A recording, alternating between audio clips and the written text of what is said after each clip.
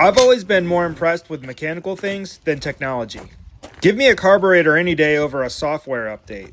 The loader arm safety brace on this skid steer is a real thing of beauty. Pay attention to this bushing right here.